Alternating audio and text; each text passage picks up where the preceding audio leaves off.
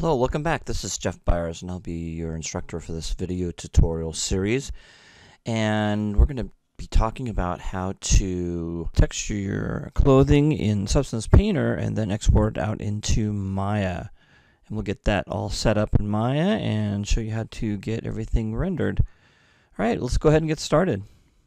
Okay, we're in Substance Painter, and let's go ahead and go to File, go to New, and make sure we have the ASM PBR metal metallic roughness starter assets. Make sure that's selected. Go ahead and open up your uh, file that you exported. And so I've got, I'm just working with the shirt. Um, you guys will probably have the whole entire body and clothing all completely finished. Go ahead and uh, import that in, in here. All right, so let's go ahead and click on your object that you want to texture. Next thing you're going to do is go into the document resolution and make sure you select 2048. Now, if you're doing a single uh, tile, um, standard tiling, UV mapping, just one tile, then you're going to want to go at least to 4096. But if you're using UDIM tiles, you're going to want to uh, keep it at 2048. All right, the only thing you're going to change here is you're going to select uh, Use UV Tile Workflow, and you're going to click on Convert to, uh, UV tiles into individual uh, texture sets legacy. If you don't do that, and you click on on this one, it won't work. Make sure you select Convert UV Tiles. We're not really going to go in here and import any cameras or anything else. We don't have any maps baked. If you do, you'll have to import them in here. Um, and the rest is good at default. Okay, click on OK, and that should open up your uh, object. And for this example, I'm just going to use a shirt that I created. And I'm not going to get into stitching. That's going to be a video that you can watch separately. Um, I'll have that in the module so you guys can do stitching. And you want to do the stitching around areas uh, around the sleeve or stitching around the collar or you know down uh, along the folds. Um, I do want to see detail like that. Okay. All right, and we also need to exaggerate um, the size or scale of the fabric so when you're far away from it, it you can still see it. Okay, so that's really important as well. So we'll talk about that. All right, so if your object came in um, the way it's supposed to, then you should see the UDIM tiles over to the right-hand side.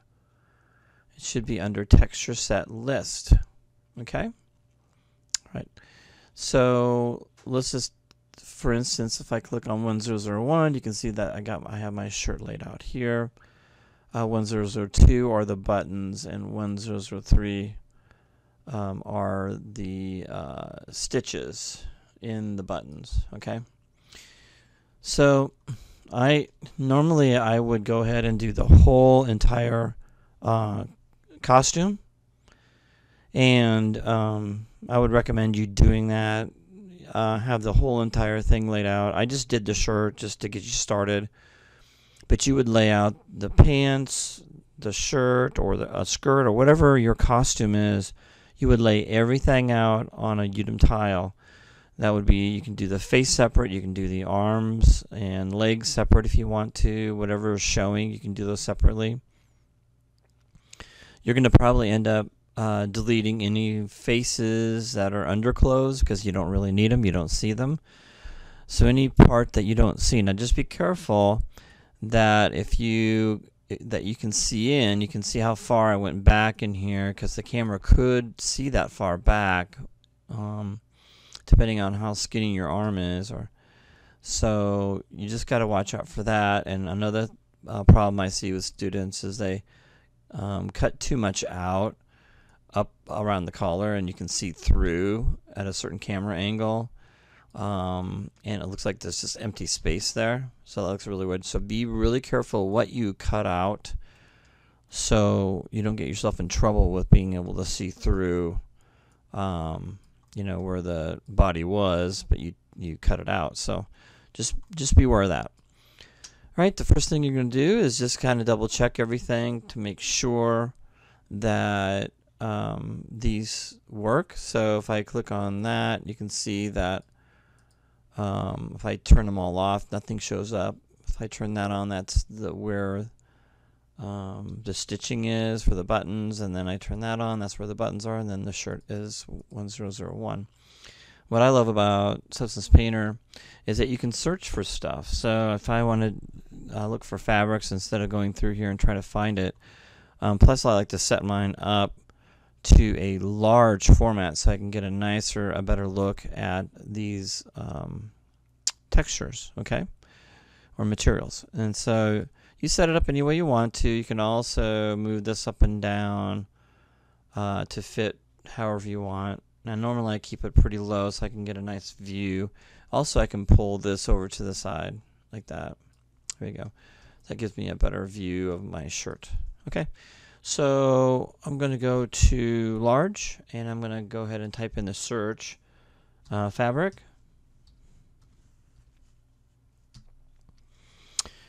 All right, I already know which one I want to use. Um, the cool thing is um, you can go ahead and uh, drag and drop it right over the shirt and it will place it where it needs to be. Obviously that's way too big. So I'm going to go to tiling over on the right hand side and move that up. Now the idea is I want to be able to see it from this distance. So when you zoom in you're thinking wow that's way too big. But from a distance it isn't. If you look at where you're going to be, let's say you're going to get around that close maybe. Um, it's nice to have a texture that you can see. You've done all that work um, so when you get real close, it, it looks drastically bigger. This is what I'm talking about uh, when you're rendering. It really is gonna it's gonna look nice if you have the texture a little bit bigger. Okay. Now obviously, it's you know don't get crazy. That doesn't look right. Obviously at all. So that won't work. Okay. So I went around. Oh, I would say seven. I'm gonna type in seven for that. And you can see that um, it's believable until you get really close, and then then it's too large. You can see. Okay, so think about that when you're um, when you're adding a texture on there. Okay, and I do want to see textures. Um, I don't want to see just plain colored shirt. Um, that's not what I'm looking for. Okay, I don't think that's what you're looking for either. You need to show some kind of detail in your fabrics. Okay, so they stick out and they look more realistic. Okay? All right. So with that said, um, I think that looks good from a distance. Okay? Like I said, close up, it kind of falls apart as being too big. Okay? But that's okay. All right, so now we're going to go in here and give it a color. All right, so we're still under, we got that on there. We're just going to go to the color, and nobody likes just white, so more dark white. I'm going to go into, we could do pink if we wanted to, or maybe a blue or a purple. Okay. I think I'm going to do a blue. Okay. Or turquoise. I think that would be good. And then I'm going to do a wooden button. So that's going to, I want that to stick out too as well. So I'm going to go in here. I'm going to go into wood. Just type in wood. There we go.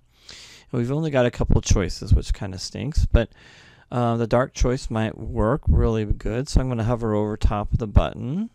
There we go, and drop that in. All right, so that looks pretty good. And you can see on the button, you can see what it looks like. of course, you can mess around let me zoom out a little bit. All right, so you can see that um, I can mess around then with the walnut, which is this walnut wood. And you've got the tiling again. Um, you can look on the, the that part right there and you can make it a little bit bigger if you want to. And I'm going to make it bigger just because it, a button's so small. Okay, so the wood grain would be a lot more uh, prevalent. So I'm going to go in there and look at it, and that looks much, much nicer. There we go. All right, so I'm going to zoom out a little bit.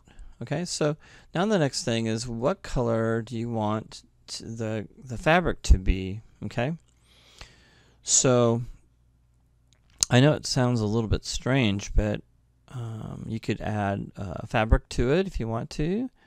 I'm going to try this just for fun. See what that looks like. Um, that's another piece like a wood, but I don't think that looks very good. So I'm going to use a darker um, so I'm going to take that out. So I'm going to go in here to wood rough and oh, let's just go ahead and click on the garbage can. All right, so let's go back to fabric and we'll go from there with that. And let's try to look for kind of a rough, maybe a rough leather. No, I want something that's going to be not perfect around. Scarf wool. Let me try that one. Okay, that looks pretty good. That would give me like a color. I'm gonna go with a darker color with that. I think that would look pretty nice, pretty sharp. Dark color, so that my it looks it just kind of sticks out more than it did. Um, looks like I ruined my original wood. Let me go back to this. Oh, I accidentally put walnut wood on there and I didn't want to do that. So I'm to go back to my wood. There we go. I want that in there. Did I want it? Oop, wrong. Go back to that. There we go. And I'm going to make that a little bit bigger. Get rid of that. Get rid of that. And let me get back to this size. Whoops. Wrong one. there we go.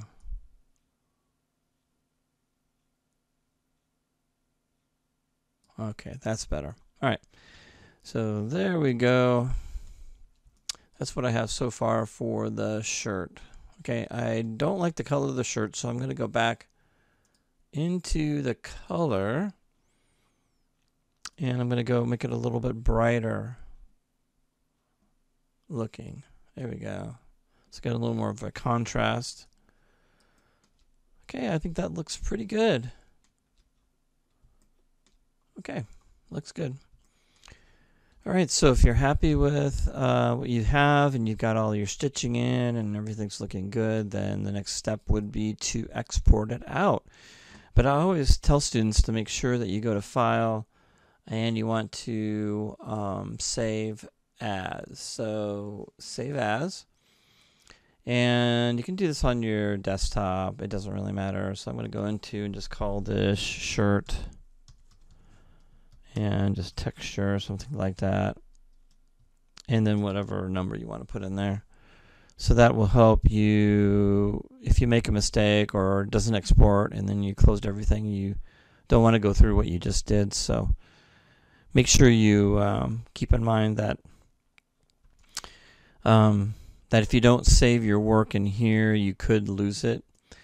Um, another thing is we don't really uh, use um, the uh, height map. So a lot of times um, for this particular shirt texture, I'm going to turn the height off and make sure that uh, normal is on. That's important. Okay. So with normal on, I'm going to turn off height and I'm going to go into here to uh, normal. And if I zoom in you can see I can still see um, the normal map is actually working. So if I go to height map it should just be nothing there okay? If I turn that back on you can see that it comes up. I'm gonna turn that off Alright, so you can either hit the M key, you can hit the M key for material, that gets you back where you were, okay? Or you can see the individual um, what they what the color, the height map looks like, the roughness map looks like. You can see what the metallic map looks like, and the normal map. So you can see that a shirt with a black metallic basically tells you that there's no reflection or any attributes that make it shiny. Okay, if that was you know white, then it'd be really super shiny. Okay, and then the roughness. That's what the roughness looks like. Roughness. That's basically a, a, a very flat. Um, roughness is kind of equal to specularity. So you can see what that looks like. All right, because uh, we don't have a fabric that's going to reflect the light like a specular circle on it, so we don't want that. That would look really weird. Okay, so here's our shirt. We're all done. So now we're just going to export it out. So I'm going to go to Export Textures. All right, just make sure all those are checkmarked and you need to know where you're going to place it. So I'm just going to put it on the desktop for now and select your folder, which there's no folder there.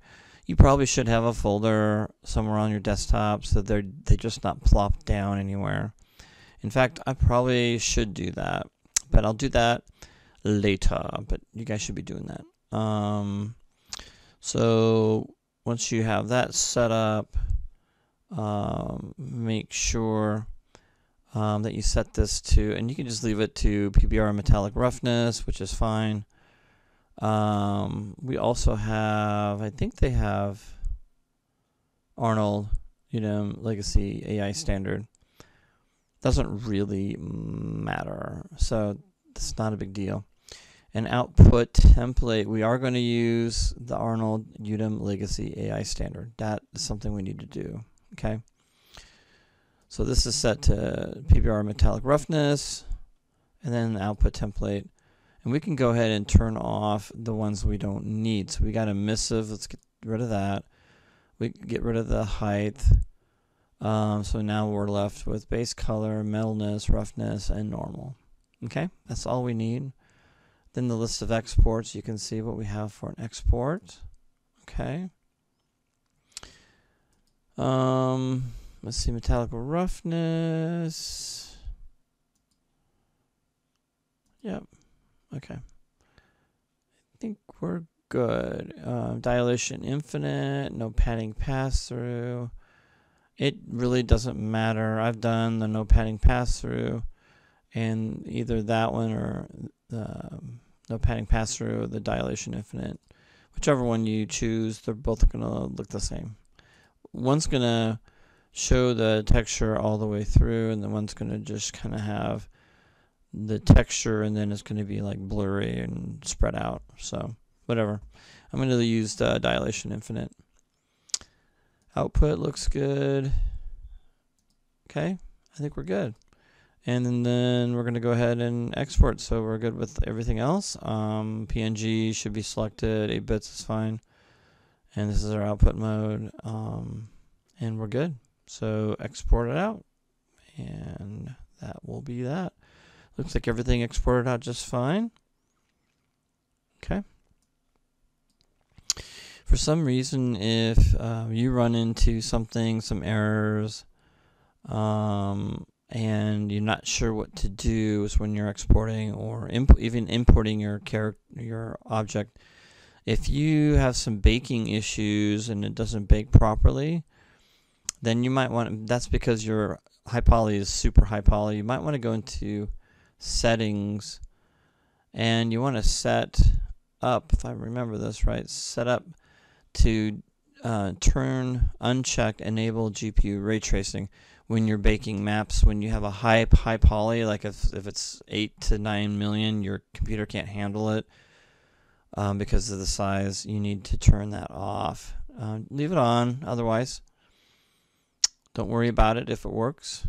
So everything's set up and we'll see you in the next video.